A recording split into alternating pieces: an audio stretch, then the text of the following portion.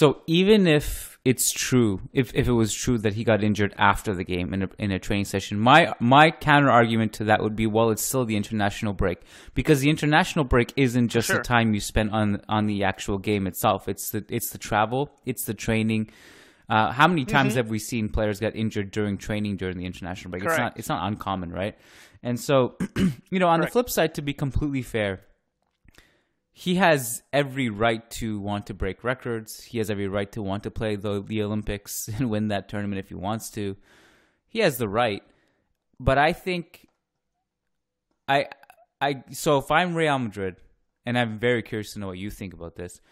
If I'm Real Madrid, I look at this little run of you know even before this injury, the one he had earlier this season where Nacho played, and he played really well. The team did well without him defensively. Um, you look at that, and then you look at this, what he decided to do here, and let's say, forget the decision. Let's just look at the fact that he got injured. We don't even have to bring his decision into it. He got injured again. He's missing a key stretch. Um, he was not part of Real Madrid's two last Champions League exits. Um, one of them for not good reasons. Actually, for you know, the Ajax one was just a terrible thing all, all around. The decision to get booked and the documentary, all of that was just a bad look. Um, and then, you know, it's and then you look at it, we're like, hmm, I don't know. I yeah, I'm really not desperate to give you this contract you want. I just think like after all of this, and who knows what happens during this this this stretch of games because you know the Clasico you can pro- you might be able to squeak by without him. I don't know what happens there. Barca look great, so I honestly I don't know. This is a much more difficult Clasico than it was like a month ago. Um, the two Liverpool games, who knows?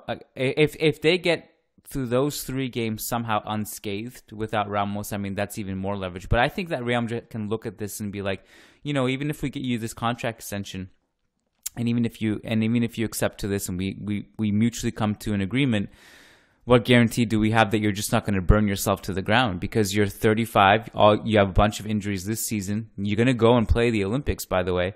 You have the euros coming up. It's just a lot. I just feel like real madrid and look like if anyone deserves a, a contract it's like him or cristiano ronaldo and these guys right in the the upper tier the pantheon of club legends it's it's people like that but you know, it's. I think the club has a lot of leverage in this situation. I think they're going to weigh all of this, and um, you know, they.